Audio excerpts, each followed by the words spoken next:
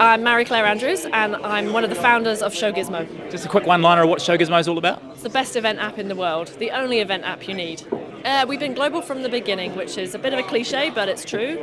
Um, the most of our market is in Australia and also the Middle East and the UK, um, but we service it all from New Zealand. I find it great actually. Australians and Brits, they make their mind up quickly. They tell you if they like it quickly, and they spend their money quickly. So it's been good. It's time to tackle the US our product is it rocks now and we've got a really good brand and great relationships so we can take it on. It's the biggest event market so we want to be there.